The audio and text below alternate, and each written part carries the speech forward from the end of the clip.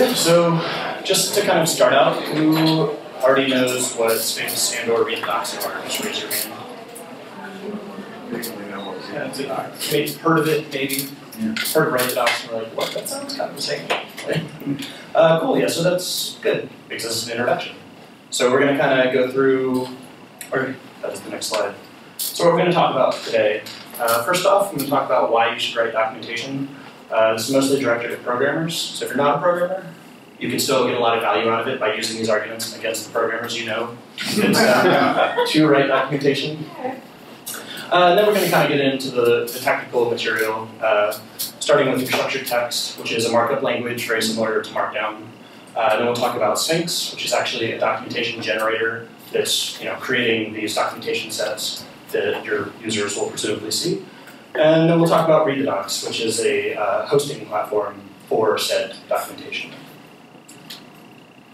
So who am I and why should you listen to me? Um, I am one of the creators and kind of current maintainer of Read the Docs, which is kind of how I got started in this whole crazy kind of documentation world. And then I'm also a co-organizer of the Write the Docs conference, which happens in Portland every year. Um, I think we had about 300 people in the Crystal Ballroom maybe six weeks ago or so, uh, which is pretty awesome. So if you're interested in documentation, uh, we have a European event and a US event every year. So feel free to come check that out next year. And that's really just about all things documentation and you know whatever you want it to be, it can be if you promote a proposed talk. So what you should do as the audience, we're in a really small room. Feel free to stop me if anything's unclear or you know at the end of a slide, like, you know, raise your hand, ask a question. Stop me if I'm talking too fast or you don't understand something. Feel free again to ask questions. Uh, at the end of each kind of section of content, I'll have a question slide. So if you're not comfortable kind of interrupting me in the middle, there'll be kind of sections at each point before we go on, because all of these topics kind of build on each other, so we want to make sure that you kind of are understanding what's going on before we move to the next thing. And then hopefully you'll learn something, and uh, that's, that's the goal of presenting here today. So why should you write documentation? My favorite example is just kind of a selfish plea to programmers. That's that you'll be using your own code in six months. I don't know, like as a programmer, this has happened to me where I get assigned a bug at work and I go in and I'm like, who could have possibly written this awful code? This is horrible. And I go in and do like a git blame or whatever, and it's like, oh, that was me. Over time, your kind of knowledge and you know the understanding that you had when you were doing something and of fades away. And if you don't write it down, you lose all of that kind of state that you build up in your mind. You've done all this research and you figured this out, and you're like, I'm going to build it a specific way. And if you don't write that down, all of that kind of just gets lost over time. So even if there's nobody else using the code that you're writing, you should think about documenting it just for yourself. So when you come back later, it's much easier to kind of regain the mental state that you were in when you were writing the code. Second reason is you, you want people to use this code. Usually when we're, we're writing code, we're trying to do something, we're trying to solve a problem, we're trying to build something. There's, there's something in the world that we are trying to you know, change in some way. And a lot of the times we don't do that just for us, right? We're in a company where we're building a module for another team that might want to use it in the future, or we're working on open source where we want to build a community around a project and there are all these other people who we want to get using our code. If you don't, if someone like lands on your GitHub page in your README doesn't you know, explain what it is your code does, you don't document how to use it, how to install it, nobody's ever going to use it. Mm-hmm. They're just going to land on this page and be like, oh, I don't know what this does. It's not worth my time to look in and figure out and like read through the actual code. You need to tell me that this is going to solve my problem before I invest any more time in the code that you wrote. So we're out there, we're building things, we want people to use them. It feels so good to have people using your open source code. It's one of the most amazing feelings in open source is when you get a bug report and someone's like, hey, I tried to use this and this didn't work. Like, Somebody just used the thing that I made? um, that, that's a feeling that we should all get, and if you document your code, it will happen much more frequently. And it makes your code better. Um, I don't know who here is familiar with the concept of README-driven development. I'm a big fan of this, which is concept of when you start a project or you start building something, you kind of write out the README first. You're like, what problem am I trying to solve? What is the API going to look like? So like, when somebody goes to use this code, here's what they'll use, they'll import this, and then they'll do this, and you build out kind of the, the mental model of the user of the code before you start writing code. And when you just kind of start writing code without documenting and kind of thinking about it first, it kind of grows this organic API, and it just kind of becomes a, the way that you use it is a, just kind of how it got built, and there was never any thought into how the user is actually going to use it before you started building it.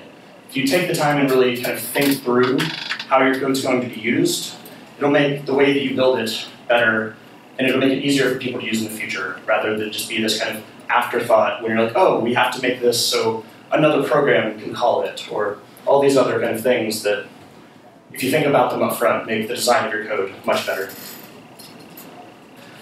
This is one that is seems obvious, but I think it's something that people really forget, especially in the open source world. We spend a lot of our time using text to explain technical ideas to other people. Whether that be a commit message, a bug report, an email, a mailing list thread, our medium of choice is text.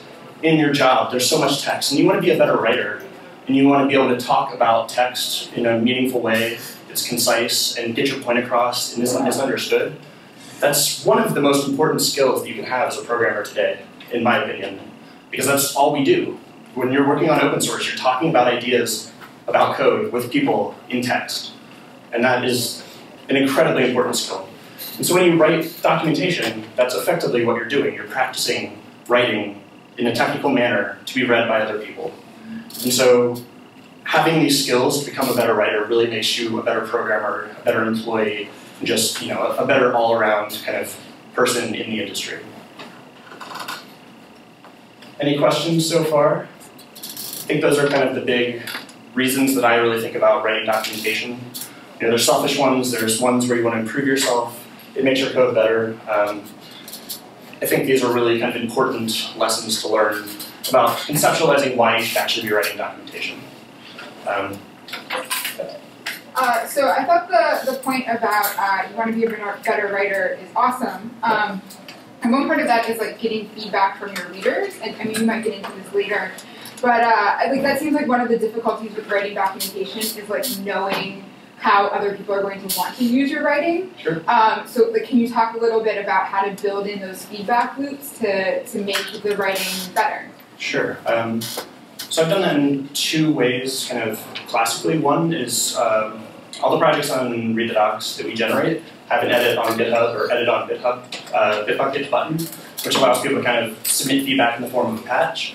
Where it's like, oh, I was reading this page and either this is wrong or there's a, you know, the obvious thing's a typo and they just like, I want to fix this. But also if they have kind of like, I want to contribute, there's something here that's missing, something that's wrong, and that gives them kind of a, a one-click way to kind of go in and say, I want to contribute this back, which kind of lowers the contribution barrier. The other one is comments, right? Um, kind of comments at the bottom of a document are really useful for that, where it's like, hey, I wanted to do this, or this is, you know, kind of provides a feedback mechanism. Uh, one of the things I've been kind of investigating is the, I don't know if you're familiar with Medium, uh, where they have the kind of the paragraph level comments. Mm. And that's something that's really powerful because then you can get much more kind of contextual and you can be like, all right, this paragraph, let's talk about that. And it's not just this kind of pile of stuff at the bottom. Um, hopefully that answered your question. Uh, I'm sorry, so familiar with what? Uh, Medium.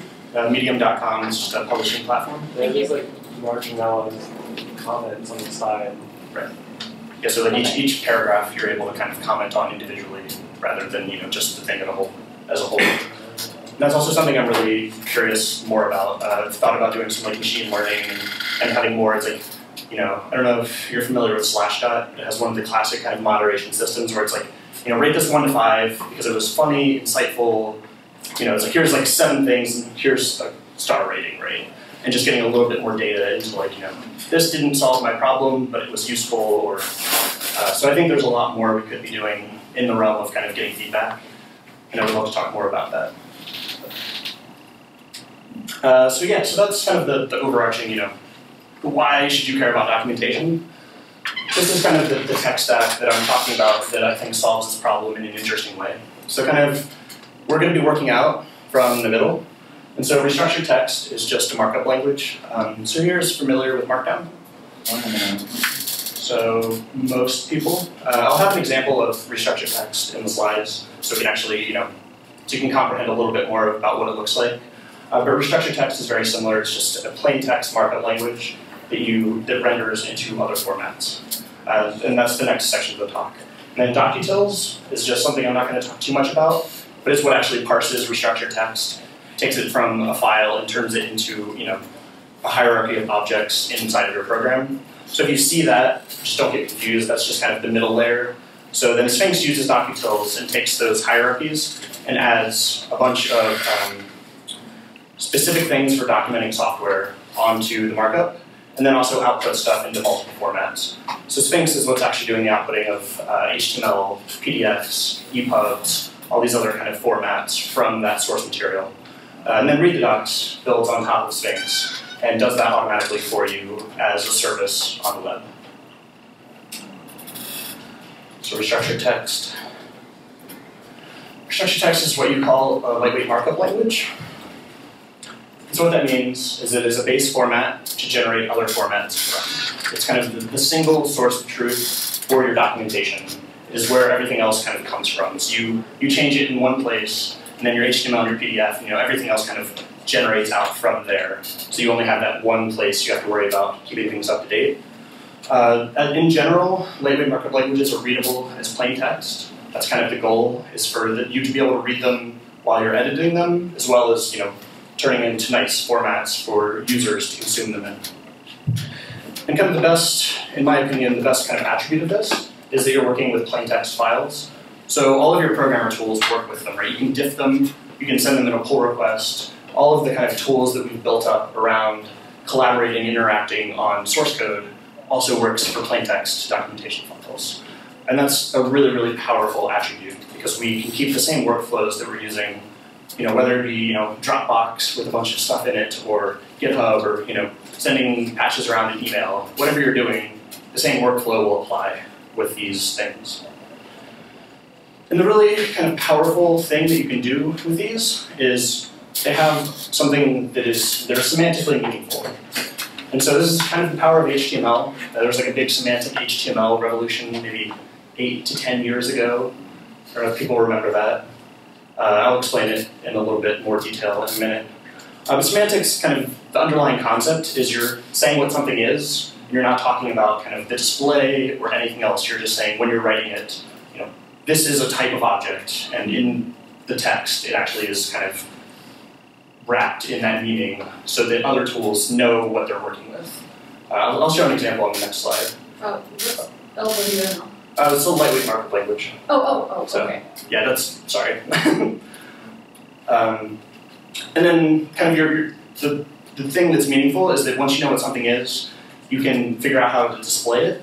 But you're kind of splitting those steps into two different things. So when you're authoring a document, all you have to care about is what you're writing about, and not what it'll look like for your users or what it's going to look like for any other kind of thing.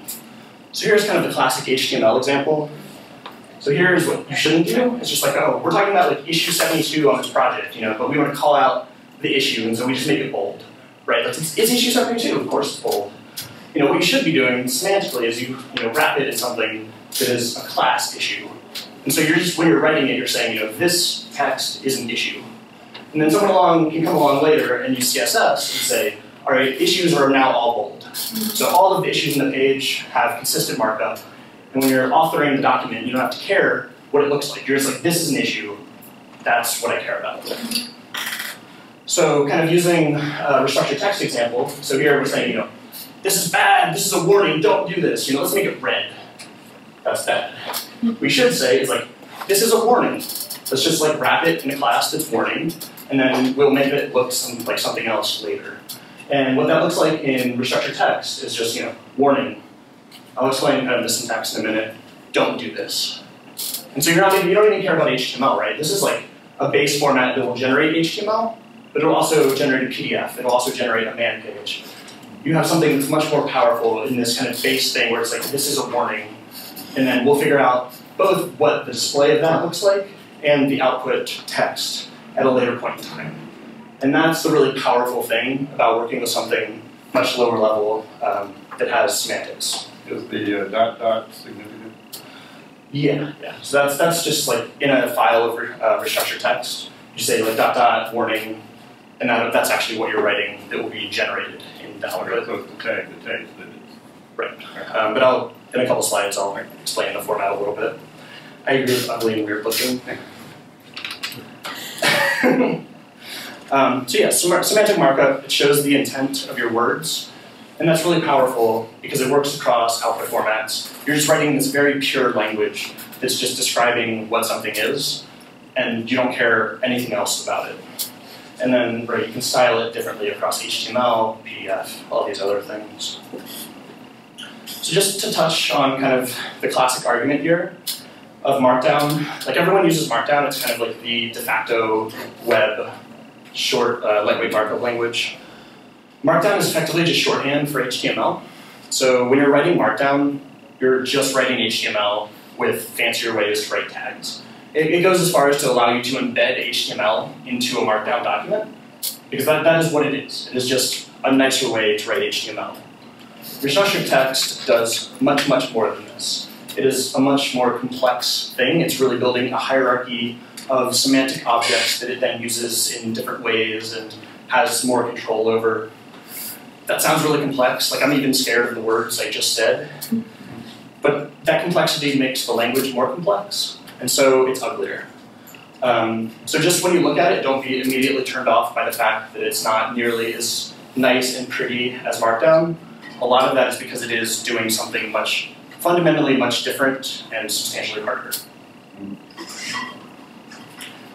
And the kind of takeaway here is if you care about what you're writing, please write it in a way that preserves semantic meaning. Whether it be HTML, write your HTML in a semantic way. If you have a choice, write it in some kind of you know lightweight markup language, or I think you know things like DocBook, and there's other tools that documentation people use that have these kind of semantic concepts in them. Like if you're if you really care about what you're writing, you should make sure that that semantic meaning is preserved because it's really a lot of work to go back and, re-add it to a set of documents. And so I know this is kind of like hand wavy and kind of crazy, so I just want to kind of give folks an example of what this actually looks like so you can you know wrap your head a little bit more around what it is. So this is just kind of an online kind of editor. So on the left here is the plain text, restructured text, and here is just the HTML output that it generates. So if we go down here, this basically just looks like a markdown document. So you know, to denote a header, you just put a line under something, and that turns it into a header in HTML output or PDF or whatever else. Um, you know, like lists are just you know put a dash in front of it and you create lists, and that you know, turns into a list in output. Um, so this looks very similar. Um, here's a code, a code block. Here's like I want to embed some you know source code. So here's a code block, and then you put the code in, and that outputs this fancy little you know properly formatted piece of code in HTML. Uh, so this is block is a, that's a class, uh, so it's called a directive. a direct, Yeah, uh, I'll explain that in a bit. But I just wanted to kind of like let you kind of wrap your head around what restructured text looks like. So I know from that description, it's not exactly obvious kind of what the day-to-day working of it will be. And so that, that part is very similar to kind of Markdown. And so the really cool stuff is the restructured text supports these directives. So here you can see over here we have kind of a table of contents. And here you can just see this little contents thing with the table of contents, right?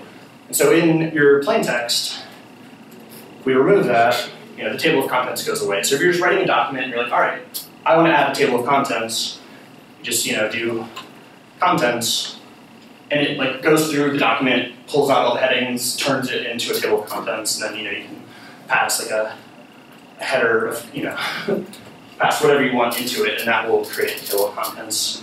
Uh, over here you can see the sections are all numbered. If we remove this little you know sectnum directive, it removes all the numbering from those kind of things. So that's the kind of the power that it gives you, right? Is you have this kind of plain, te- plain text document, but then you have these directives that are incredibly powerful. They can then edit it and do things to it and work with it to give you really, really nice output.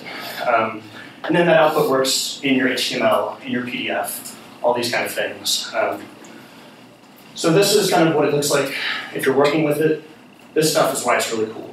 uh, and I'm going to explain kind of the conceptualization around that next. But I just wanted people to kind of have an idea of what working um, with it would be. And so all of those directives are kind of where you're able to extend restructured text, which is what Sphinx does. So it takes kind of this base language and adds other directives that you can use to do cool stuff for a documentation. That's kind of the main thing that Sphinx is. Um, so as, as, someone pointed out, uh, page level markup is just a line that starts with two periods in a space and ends at the next unindented line. So very similar to Python. Uh, so you do that, two dot space, and then everything that's within that block just stays indented. And then when you have no more indentation, that's kind of the end of that you know, thing. And the main important part of page level markup is a directive. So it looks like dot dot directive name, two colons. And that's kind of the main source, as I was uh, kind of saying, uh, of the extendability of restructured text. And that's where Sphinx really shines, is it adds a lot of you know, custom directives to the language. So kind of the example again is like our code block. You can see here the dot dot, calling code block. Uh, and then this is just kind of, these are arguments, and then this is just options. So you're like saying, all right, this is, this is going to be Python, and then we want to include line numbers in the output. And then, as you can see here, this is indented, and so this is the actual code block. And so that is what you would write in your source file, and would turn in, you know, highlighted, you know, code block with line numbers. If you remove the line numbers thing, you know, the line numbers will go away. Um, pretty, pretty, yeah. Sorry, so the, the highlighting, um, obviously that's Python type highlighting because you Yes. told it was Python. Uh, I assume you can like change the colors and things with CSS? Yes. Yes. Uh, in HTML. Yes. But, so when it does PDFs, obviously it's a little bit trickier to change this text highlighting because we can talk about that later. Okay. Sorry. yeah, no, no, it's fine. Uh, it's just it uses LaTeX, which scares and confuses me. That- That's All right, I think- for a lot of people. So, so that that is kind of like if you want to do things at the page level, you use directives. Those are kind of outside of the prose that you're writing. Uh, the other main thing that you can do is you can actually use inline markup.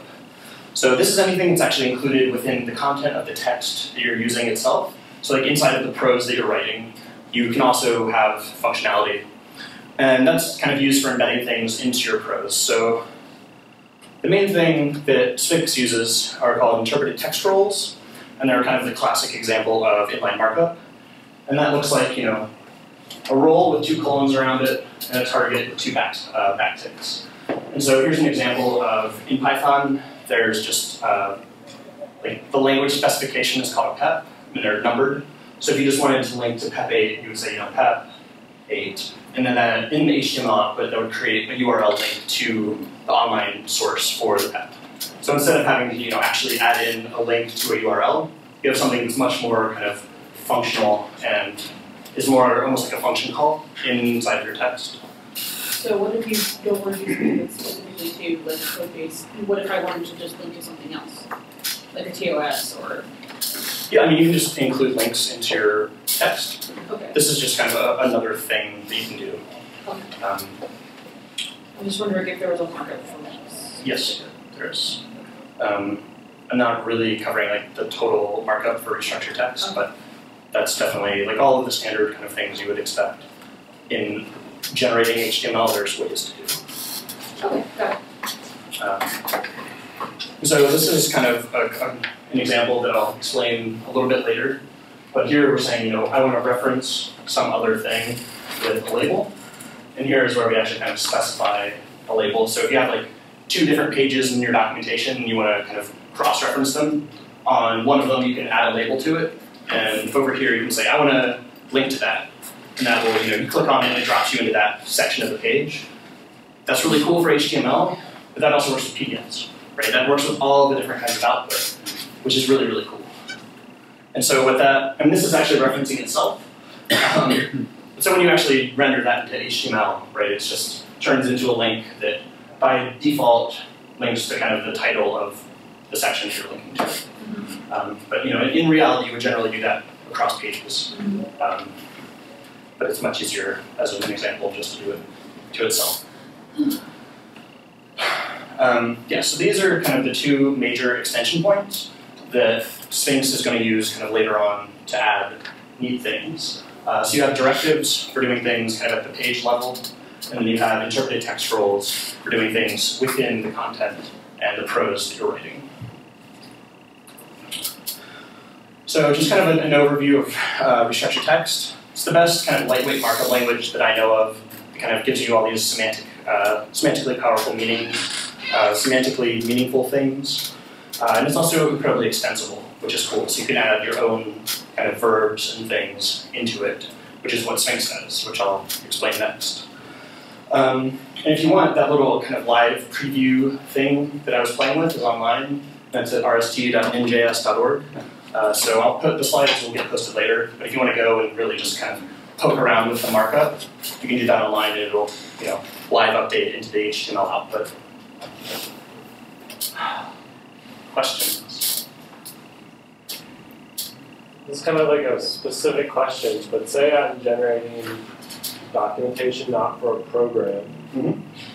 Should I s- stick that, all that Sphinx documentation files into a docs folder in a Git repo, or should I just put that in the Git repo?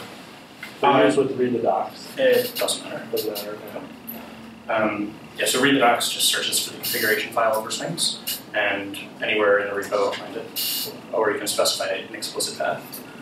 But any other people kind of understand what I'm talking about? Kind of get it? I didn't. I didn't delve really far into the language semantics. I was just kind of trying to focus on the interesting parts. Um, so please kind of go back and like you're not meant to have a, a full picture of what restructured text is, just kind of why it's it's interesting, and you know how Sphinx will use it for neat things, which is what we'll talk about now. So understanding Sphinx. Um, Sphinx is a general tool. It's really easy, kind of classic, kind of points to your question. The classic layout is you know within your project you have a docs directory, and within that you have a conf.py, which is Sphinx's configuration file. And then you have a make file, which just is a way for shortcuts. So you can just say make HTML and make PDF. And you don't have to call kind of the full command to Sphinx. Just makes it a little bit easier to use. And then you just have all of your restructured text files inside of that. You can put them in folders or you know whatever else you want to use. But this is all the really the conf files all Sphinx needs. This is just for to make it nicer to use. And then you just have lots of files on your, your system.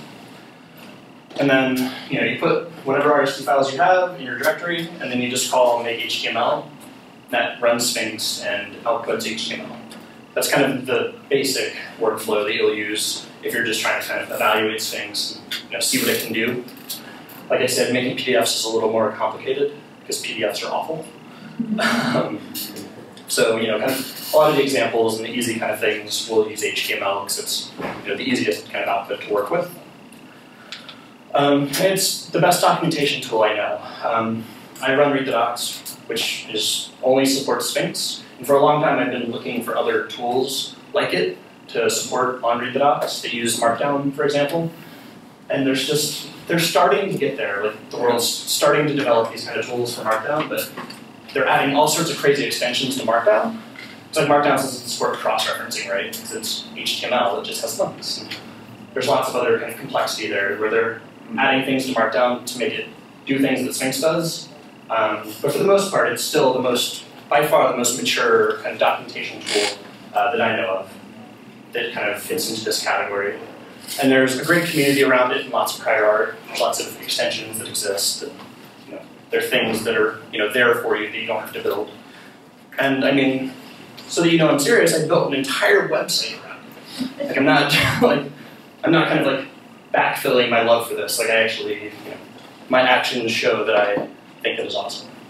So what is what is Sphinx doing for restructured text? Like what is it adding? So one of the really kind of cool things that it adds is the concept of a table of contents tree.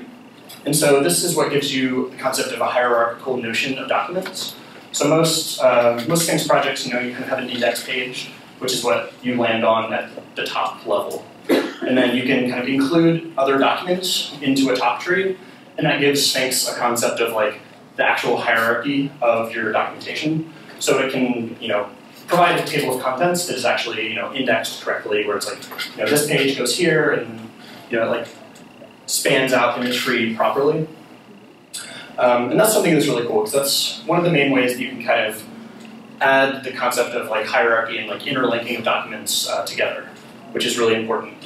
Uh, a lot of documentation tools just render a page and a page and a page, and there's no concept of like the whole thing as a whole project.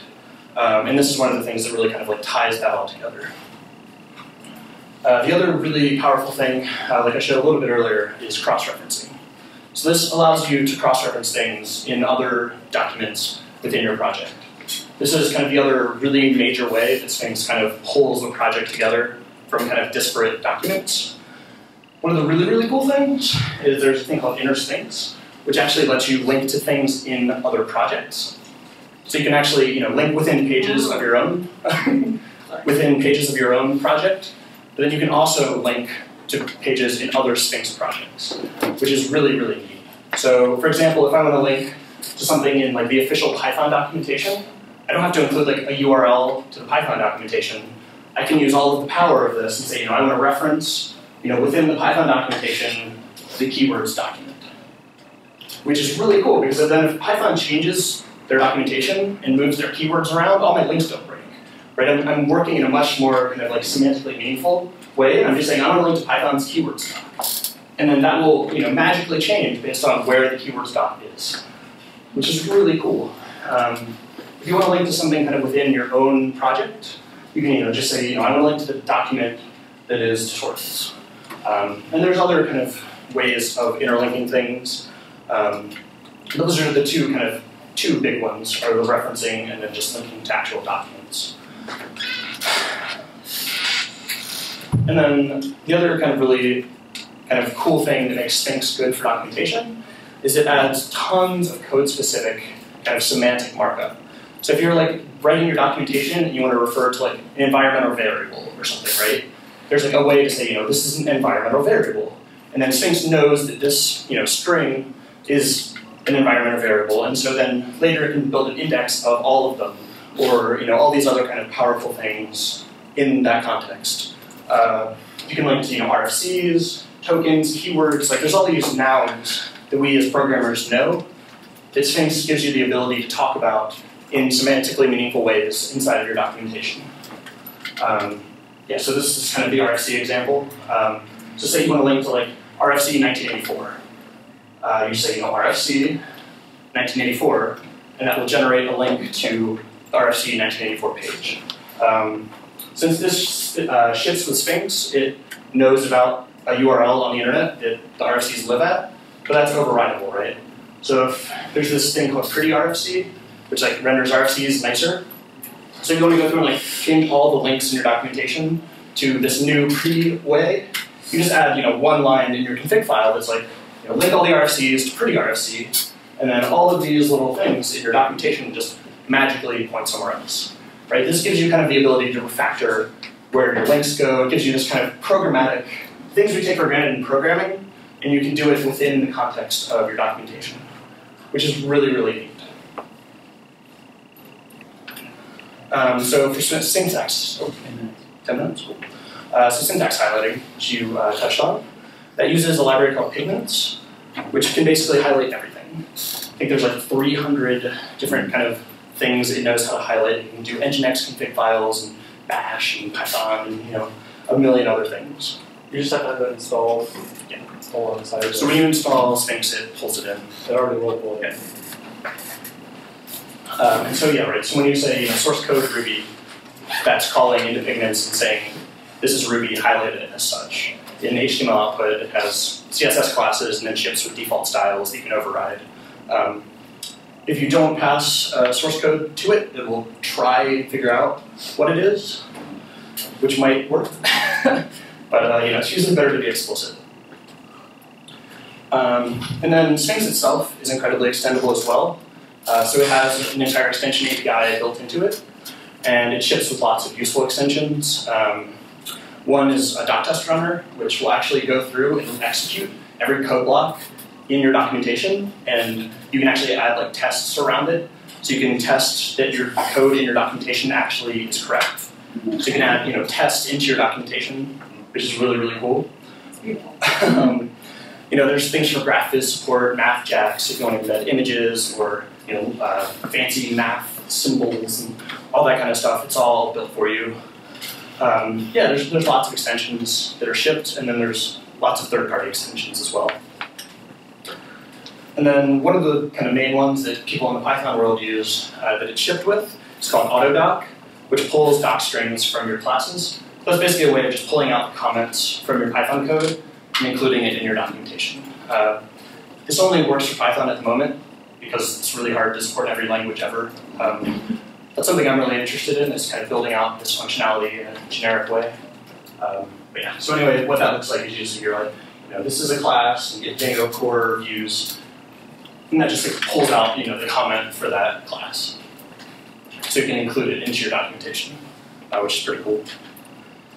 So yeah, Sphinx. Um, it's a documentation generator that takes, you know, a directory full of restructured text files. Uh, in those restructured text files, you can use all of this kind of fancier markup and other cool things, uh, and then it will generate kind of HTML and PDFs for you. And it adds, like I said, lots of, you know, nice markup for writing tech documentation specifically. Questions? So you said HTML and PDF, and you said it will do a lot of different formats than that, like MediaWiki. Uh, no, so it only outputs kind of user things, like it wouldn't output MediaWiki because that's kind of another input. So if you want to form go between formats, you want to use Pandoc, which is a fantastic tool that will convert everything to everything. Like you can do Markdown to HTML, or you know, restructure text to Markdown, or like it's like 20 different things into 20 different things. I highly recommend Pandoc. You said Pandoc, so that's all one word? Yeah, P A N D O C. All right, so now is we have this cool tool to generate documentation. This is where I come in. I build ReadDocs, which builds and hosts your Sphinx documentation. Um, at this point, it's the de facto hosting provider for Python documentation, which is pretty pretty cool. Coming from the Python world, it makes me happy. People are using my open source code. It fills me with joy. If you document your code, you can be filled with joy too. Uh, it was created in 48 hours in 2010, which is kind of cool. And then it provides a bunch of stuff on top of Sphinx that I will talk about. So first off, the story. So this is 2010, Django Dash is a 48-hour coding competition. It's like over a weekend. And my friend uh, Charlie, Bobby, and myself were like, we want to do this. And this is the problem, is that hosting our documentation is awful. So there's this thing called packages.python.org where you just upload a zip file of HTML and it would unzip it and host it for you. It's like, oh, that's like, was that 1980s technology? It's like FTP. Uh, GitHub Pages is the other one where instead of uploading a zip, you put it in the Git repo and push it. And you're still just kind of like putting HTML files on a server. And what I was doing was actually running a cron job on my server that would pull down my repository every five minutes, generate the HTML, and then serve it. Um, so the problem with all of these is that it doesn't keep anything up to date, right? It's up, it's up to you to, you know, kind of build your documentation and put it there. You know, we're web developers, right? We have technology. We can rebuild it. We had a workable site in 48 hours that did this kind of very basic generation of documentation. And it was open source, which is kind of awesome. So fast forward today, had 118 people that have contributed code, we almost 4,000 commits, 850 issues. We've done 1.5 million builds of documentation, and we've done over 150 million page views, like overall time. We're getting about 9 million a month. Uh, and this blog post kind of has more stats and interesting numbers. This is what our traffic looks like. I call this the linear growth FUVCs, sustainable, you know, open source growth model. FUVC, what does that stand for? Uh, it's, it's a very, you know, cryptic. uh, so yeah, so anyway, yeah, exactly. Um, so that's kind of where we are now with the project, but like, cool people use it, why are they using it? We have a beautiful theme. Uh, so the default Sphinx theme is obviously developed by a programmer. Cool. Um, and so we got a real designer to build a theme that is delightful and beautiful. And Oh, Doesn't quite show it justice here, but How am I proving myself locally with Sphinx doesn't have to fit? it's just using the crappy default theme. But if you um, if you upload it to read the docs, you can magically turn the crappy, crappy default into our beautiful. Uh, and then we do things uh, for versions. So a lot of projects will you know tag different releases and have different branches for versions. So you basically give us a version control repository. We'll pull it down and we'll take all of your tags and branches and turn those into versions of the documentation that you can build. So what's really cool about this is we build and post old versions of docs. So if you know the world's moved on to you know 1.7 and you're stuck on 1.5, like that, those docs still exist and are on the internet. And you're not just like stuck with like, uh, we only have one version of the docs and they're the latest and they don't apply to my software, which has happened a surprising amount. So this is a really important thing that we provide. The other really cool thing we do is post commit hooks. So when you commit code, GitHub or Bitbucket or whatever will ping us. We'll pull down your code and keep it, uh, rebuild it and update it. So your code is always up to date with whatever's in your repo, or your docs are always up to date with your code, which is a really cool attribute. Um, because your docs are always up to date and they're not, you know, lagging behind and two weeks out of date somebody hasn't updated the website. So, just to be clear here, that only happens if you've updated your docs at the same time you've updated your code, right? Right. I mean, it's re- it rebuilds whatever you have. Oh, So it, it matches what's in the repo, not necessarily that you actually updated your documentation. okay. Hopefully you did. You could do this with anybody that has uh, commit hooks, right? yeah, yeah, yeah, we have a generic commit hook as well. Okay, yeah. Uh, one of the cool things we do is we do translations. So if you have, you know, a Japanese version or a German version, we'll host that as well. We also localize our site. So I think our, our site's localized into eight languages. So if you're in China and you go to readthedocs.org, it'll show up in Chinese, which is pretty cool. We do search. So we full, te- we full text index all of the documentation and do Elasticsearch, provide an index and an API to that. We do CNAMEs. So if you have your own domain and you don't want to have a .readthedocs.org, you know, so when eventually we go away into the internet and the indie web wins, um, you, you maintain control of the documentation, like the domain that everyone has linked and Google saved and all these things. Uh, we build all the different formats for your docs. And one of the things that's really cool is like I'm an ops person historically, uh, uh, also while being a dev. So I know how to architect this stuff, and serving static files is really easy. Um, so it's really highly available, and we've never had any kind of real multi-hour downtime for the serving of our documentation in almost four years, uh, which is pretty cool. And then we do lots of other little small things. Uh, so you can serve multiple projects on a CNAME, and we have support for uh, Python 3. And you know, there's you know management of you know, so multiple people can manage the thing, and other other stuff that becomes important as you do more advanced stuff. So using Read the Docs, you register for an account, and you import your project with a repo, and that's it, basically. As long as you have Sphinx documentation in there, we'll pull your repo down, find your configuration, run Sphinx, generate HTML, and host it for you. Pretty, pretty neat. Looks like I don't So have time for out demo. of time, if people are willing to stay, you can maybe go a few minutes if you want. All right, yeah, well, I can just do like a two second demo, but I'll go ahead and finish. Recap. Hopefully, you've kind of discovered why you should write documentation, or at least you have arguments to explain to people why they should write documentation. Uh, you understand why restructured text and Sphinx exist, how, a little bit about how they work, and kind of why they're neat and cool technologies. And read the docs is awesome. I might not have convinced you of that. If you go and try it, hopefully you'll enjoy it. So there's some resources, docs.writethedocs.org. Uh, it's documentation on writing documentation, which is kind of cool. Um, docs.readthedocs.org is documentation on read docs. So if you're curious about that. And then sphinx.org is the Sphinx documentation. Um, we're out of time for questions, but I kind of wanted it to be that way, which is why I put them in the middle of the talk. Um, so come around, I'll be at the conference, so if you want to come and chat more about stuff, feel free. One more thing. This is what Read the Docs looks like when you're logged in and you're in English.